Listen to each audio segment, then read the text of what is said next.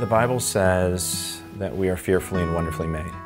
So the foundation of what we try and do every single day um, is two things. We try and communicate to people that they're fearfully and wonderfully made by a God that's more in love with them than they can ever imagine. And so faith, as we say, is helping people to potentially begin to believe again that they are fearfully and wonderfully made and their body is designed to heal.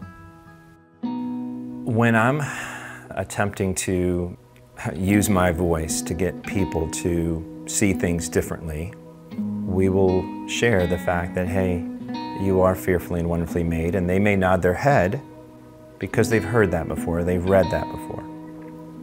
But then I'll say the same God that made that ocean, or that mountain, or that baby, or that stream, or that sunrise, or that sunset, where you look at it and you say, wow, it's amazing.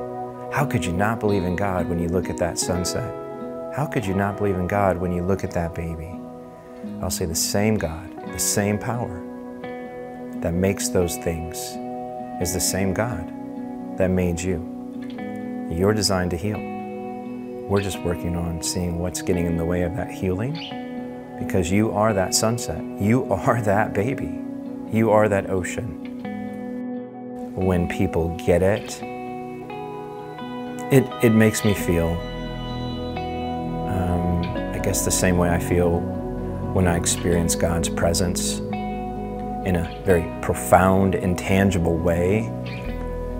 I feel that same way. I just feel this peace and joy that goes to the next level. That's, that's how it makes me feel.